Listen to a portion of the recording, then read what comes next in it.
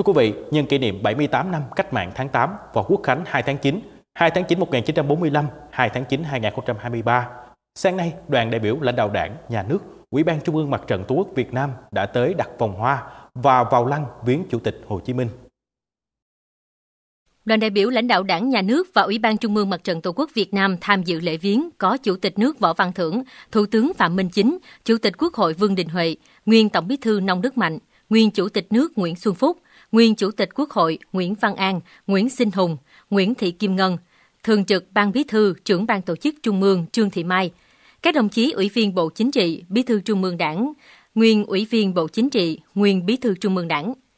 Trước anh linh Chủ tịch Hồ Chí Minh vĩ đại, các đồng chí lãnh đạo bày tỏ lòng biết ơn vô hạn, lòng thành kính tưởng nhớ công lao to lớn của Chủ tịch Hồ Chí Minh đối với sự nghiệp đấu tranh giải phóng dân tộc, thống nhất đất nước, xây dựng Tổ quốc Việt Nam xã hội chủ nghĩa, hòa bình, độc lập, thống nhất và phát triển. Vòng hoa của đoàn mang dòng chữ đời đời nhớ ơn Chủ tịch Hồ Chí Minh vĩ đại. Sáng cùng ngày, các đoàn đại biểu của Bộ Quốc phòng, Bộ Công an, Bộ Ngoại giao, thành phố Hà Nội đã tới đặt vòng hoa và vào lăng viếng Chủ tịch Hồ Chí Minh.